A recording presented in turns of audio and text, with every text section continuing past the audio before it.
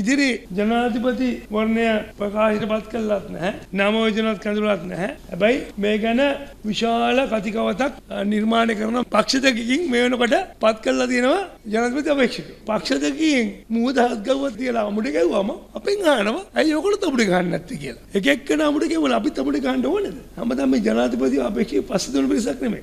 අපේ රටේ සංවර්ධනය කරන ගමන් තමයි ජනාධිපතිවරණය ගැන අවධානය යොමු කරන්නේ. අපේ පාර්ශවයෙන් ජනාධිපතිවරණය ගැන අවධානය යොමු වීමේ පොඩි අඩුවක් තියෙනවා. ඒ අඩුව සිද්ධ වෙලා තියෙන්නේ පක්ෂීය වාසීන තාණ්ඩු වාසීනත් නෙමේ රටේ ජනතාව ගැන විශේෂ අවධානය යොමු කරන්නේ. හොඳට මතක තියාගන්න. කල්යල් තියලා අනවශ්‍ය විදියට ඉන් ඇඩ්වාන්ස් පත් කරපු හැම අවස්ථාවකදීම ජනාධිපති අපේක්ෂක ඒ පාර්ශවය අසාර්ථක වෙලා තියෙනවා.